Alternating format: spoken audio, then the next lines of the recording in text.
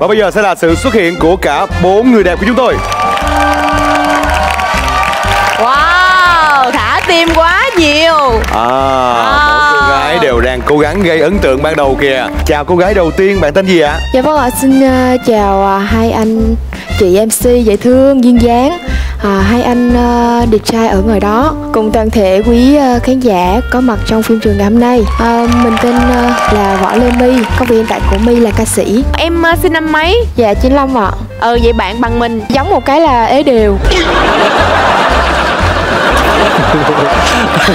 Chạm đấy nổi đâu Mà ế thật nha. Ồ. Chưa một mối tình về đến đây để tìm mối tình đầu của My. Ấy à, và và nhắn với nửa tần số của My là với một câu hát Lòng người yêu em nhé baby. Rồi làm chồng em nhé baby. Trời. Ý anh sao? Vâng ạ. Làm người yêu, rồi làm chồng luôn. Vậy là quyết định nếu mà tìm hợp là tiến đến hôn nhân luôn đúng không ạ? Dạ đúng rồi ạ. Khá ấn tượng với Lê My ha. Bây giờ chào cô gái thứ hai. Dạ em chào hai anh chị MC Em chào hai anh và em chào tất cả các bạn đang ở trường quay. Thì em tên là Ngọc Trâm. Hiện em đang là một model. Bên cạnh đó thì em có học bên uh, nối mi và làm nail. Từ lúc mà em nghe tới tiếng của hai anh thì em tự phát hiện ra mình có một cái siêu năng lực rất là đặc biệt. Năng À, lực gì vậy bạn? dạ đó là siêu thích anh. Siêu thích anh. Wow. Oh. Lực là siêu thích anh.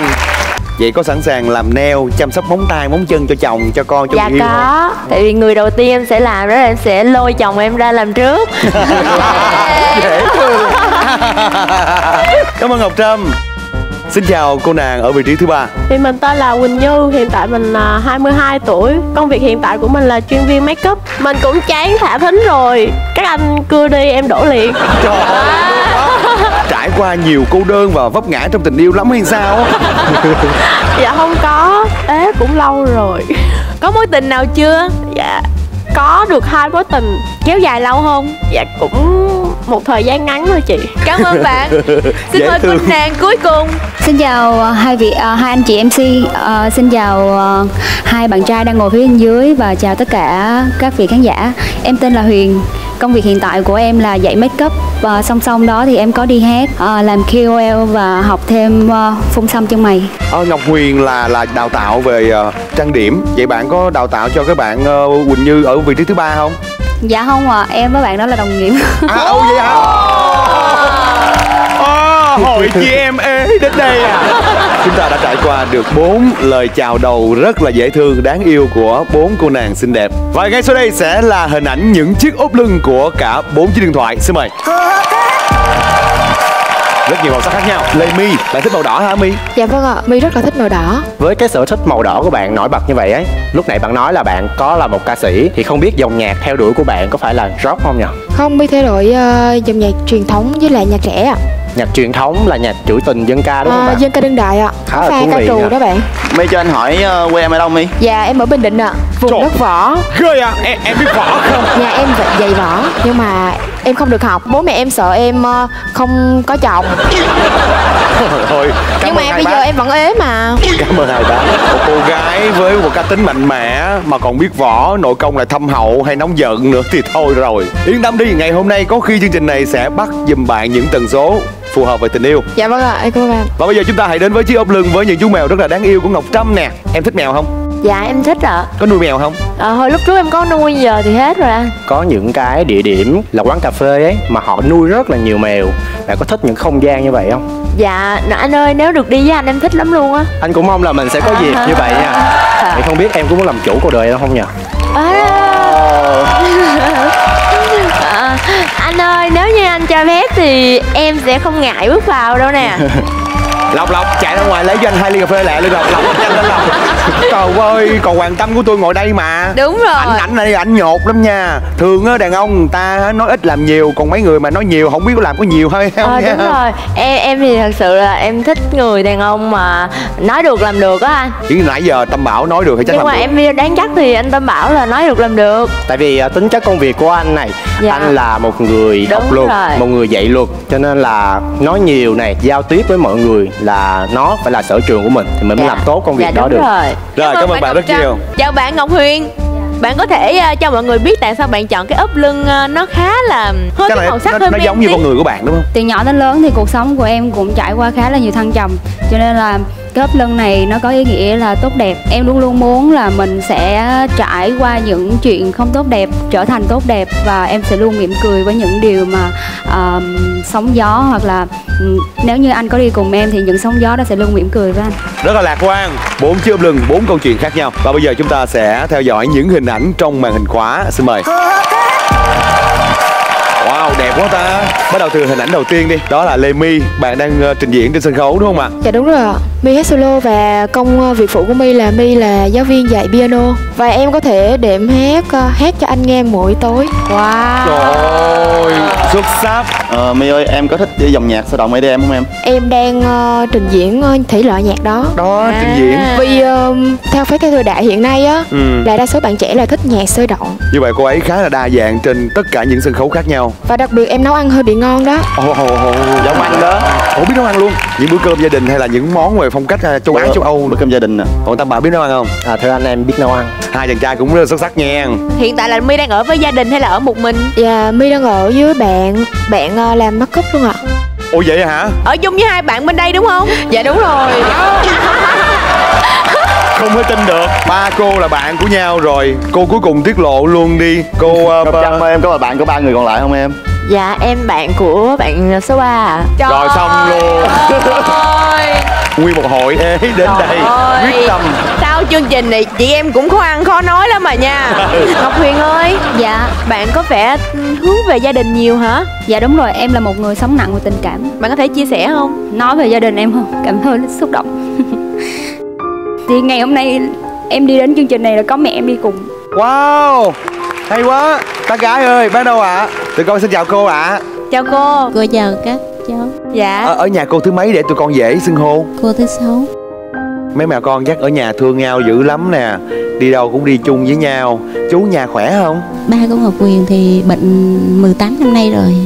18 năm lần hả cô? ừ, Chú không thể đi lại xa được đúng không cô? Đúng rồi. Không thể đồng hành cùng với Huyền trong ngày hôm nay. Con gái cô á, nó rất là có hiếu. Bất cứ là cha mẹ hay là anh chị bà là Ngọc Quyền nghĩa là sắp xếp bay về liền. Và tất cả mọi thứ là Ngọc Quyền đều lo sẵn sàng hy sinh lo hết về vật chất cũng như là tinh thần. Cho nên với bản thân của Ngọc Quyền thì cái nhiều cái Ngọc Quyền cũng rất là thiệt thòi. Con hiểu ý cô rồi. Có nghĩa là Ngọc Huyền lúc nào cũng hướng về gia đình Đi làm rồi phụ giúp ba mẹ nè. Đâm ra là hy sinh luôn khoảng thời gian riêng tư của mình Để tìm kiếm tình yêu đúng không cô? Ngọc Huyền là con cả trong nhà hay như nào ạ? con gái út. Gái út luôn mà mà giỏi vậy đó Hôm nay chắc cô đến đây cũng mong muốn Huyền tìm được một nửa cho mình để ờ, đỡ bớt cái nỗi buồn phải không cô? đó là điều cô mong muốn nhưng không biết Ngọc Huyền như thế nào. À như vậy là mẹ cũng ủng hộ cho con gái lắm nè. Nên con gái cố gắng tự tin lên nghe. Còn riêng với cô nè Ngồi đây nè cô thấy hàng rể tương lai sao cô? chàng nào cũng đẹp trai. Dạ. Nhìn chàng nào cũng khâu ngô tuấn tú hết. Dạ. Nhưng mà với cái đó thì ừ, cô đâu có biết được đâu Dạ. Ờ, Quan trọng là cảm xúc của tụi nhỏ cô ha. Dạ đúng rồi. Cảm ơn cô rất Dạ, nhiều cảm ạ. ơn cô. Rồi Ngọc Huyền lạc quan lên nào. Ừm, dạ do là ờ, trong một giây phút thì em hơi ờ, xúc động tí thôi. Ừ. thì cũng nhân trên chương trình này thì con cảm ơn mẹ đã đồng hành với con trong suốt những thời gian vừa qua. Người mẹ nào cũng vậy cả. Với mỗi hoàn cảnh khác nhau Chúng ta càng thấy tình yêu đó thiêng liêng biết bao nhiêu. Cố gắng ngày hôm nay Tìm kiếm cho mình một hạnh phúc riêng nha. Đã đến lúc bạn xứng đáng với những hạnh phúc đó rồi. Dạ em cảm ơn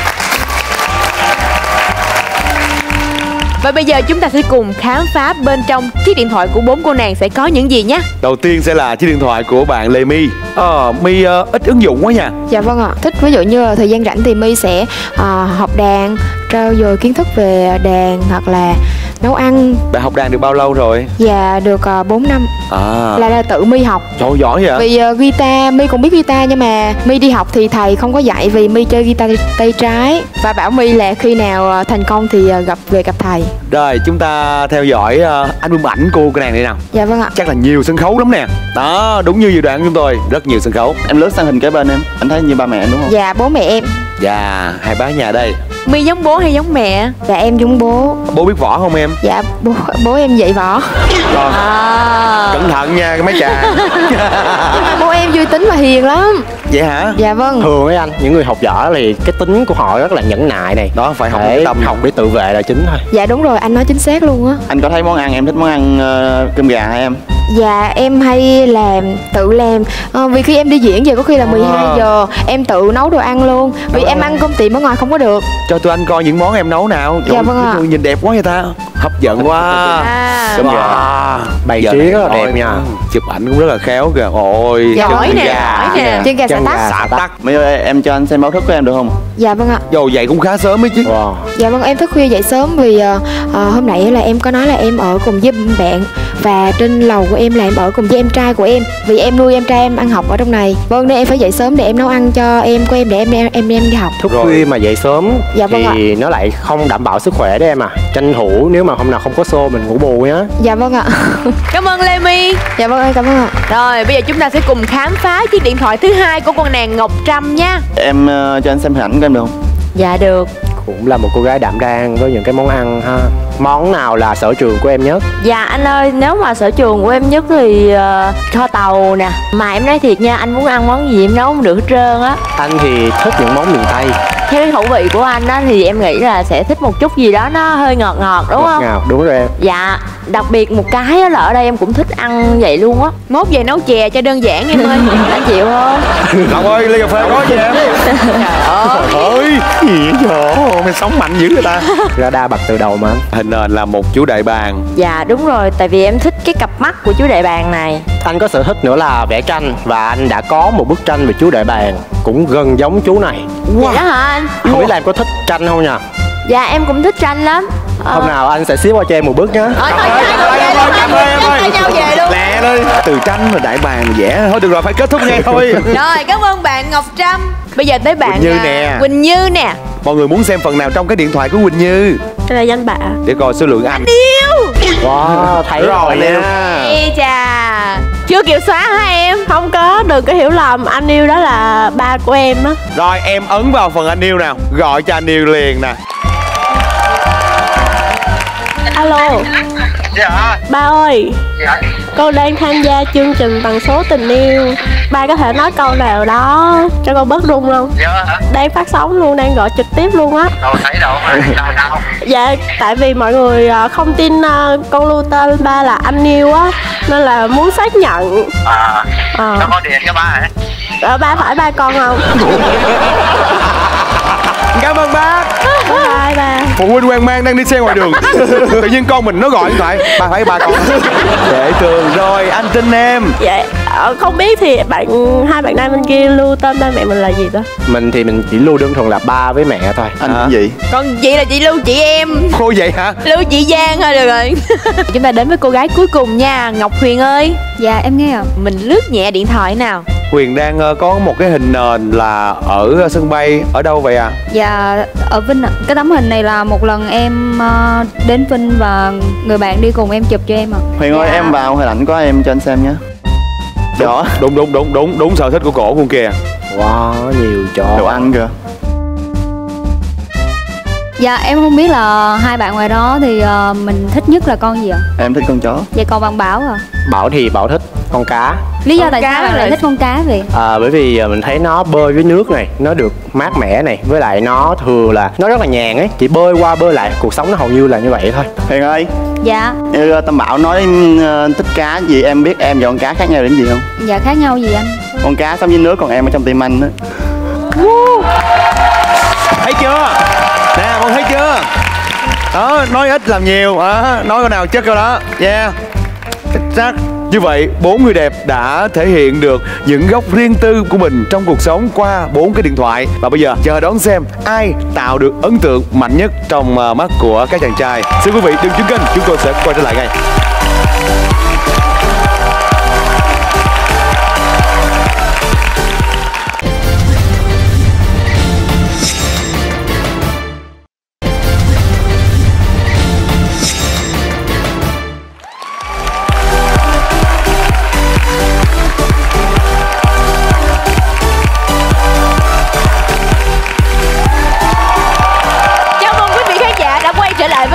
Tần số tình yêu. Ngay sau đây sẽ là phần ấn tượng. Hoàng Tâm, bạn ấn tượng với cô nàng nào nhất? Em ấn tượng như Ngọc Huyền. Ngọc Huyền ở vị trí thứ tư. Còn với Tăng thưa chị thưa anh và thưa mọi người thì à, bốn bạn đều có những cái giọng nói rất là nhỏ nhẹ. Và em cũng thấy rất là thích. Tuy nhiên bạn ấn tượng với em nhất bạn nữ ở vị trí số 2 à Đương nhiên đúng với sự dự đoán của tất cả mọi người.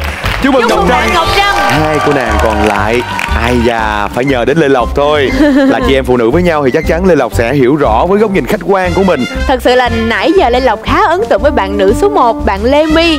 Bạn có khá nhiều tài năng và thể hiện được khá nhiều sở trường cho tất cả mọi người được thấy Và Lê Lộc muốn dành cho bạn một cơ hội nữa để chinh phục hai chàng trai ngồi ở đây Chúc mừng bạn Lê My và bây giờ chúng ta sẽ được chiêm ngưỡng nhan sắc thật sự của cô nàng ở vị trí thứ ba. Xin mời Quỳnh Như xuất hiện trên sân khấu.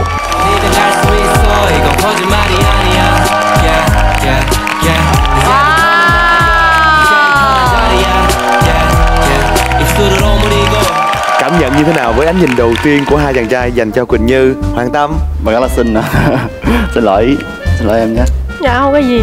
Tâm Bảo. À, về anh thì anh cảm thấy em rất là xinh bước ra như một tiểu thư đài cát vậy đó. Hy vọng là em sẽ tìm được một bạn nào đó phù hợp hơn với mình nhé cảm ơn hai anh Và bây giờ chúng ta hãy à, tìm hiểu và tâm sự với nhau nhiều hơn nào. Như ơi, à, quê gốc của bạn là ở đâu nào? dạ em ở bình định nè Bình Định luôn. Biết võ không? ờ, em biết võ bảy chợ Rồi Ủa anh Hoàng, anh Hoàng Dạ. đâu xa vậy? À, giữ khoảng cách ra khỏi vùng cấm địa mà. gió bảy chợ là gió bỏ chạy đó anh phải sợ À, vậy hả? Bảy trọ là bỏ chạy. Vậy đó. À, trời ai biết tưởng đâu chú Bảy là tên trọ. Ba mẹ ở dưới quê hay là lên cùng với bạn? à, dạ tại vì à, ba mẹ em cưới nhau về rồi không hợp với nhau nên là đã ly hôn. Hai bác xa nhau hồi bạn mấy tuổi? dạ lúc em 3 tuổi. Ba tuổi thì chắc lúc đó mình vẫn chưa hiểu cảm giác đó nhiều đúng không nè? dạ đúng rồi. Nhưng mà càng lớn lên thấy ờ, ôi sao bạn bè đồng trang lứa của mình có được sự sung túc đoàn viên còn mình cảm thấy như thế nào? Đôi lúc thì cũng thấy tuổi nhưng mà em không có trách ba mẹ mình. Nếu hạnh phúc thì ở với nhau còn không hạnh phúc thì có thể kiếm hạnh phúc mới. Ba mẹ có bước thêm bước nữa không? Dạ có. Ba mẹ em đều có gia đình riêng và mọi người ờ, đều ờ, có một đứa con. Bạn đều có những người em đúng không dạ nào? đúng rồi. Ờ, bạn có hay thường xuyên liên lạc với những người đó không? Dạ em rất là thường xuyên. Ờ, nói em rất là thân thiết với ba mẹ và ba mẹ dường như ngày nào cũng gọi điện và hỏi thăm em hết. Hãy cố gắng bền vững với mối quan hệ đó. Ờ, có khi nhiều anh chị em như vậy bảo vệ nhau cũng tốt hơn mà. Dạ em cảm thấy mình rất là sướng hơn so với mọi người đó là em Ờ. được nhận rất nhiều yêu thương từ gia đình. Vậy thì xong ờ, thông qua chương trình tần số tình yêu qua sóng truyền hình bạn có muốn nói lời gì gửi tặng đến đại gia đình mình không? Con lên tìm nửa trái tim cho mình nhưng mà không có. À, mong ba mẹ à, chờ con tí nữa nha. Tí nữa cho con thêm thời gian nữa đúng không nào? Tạm biệt quỳnh như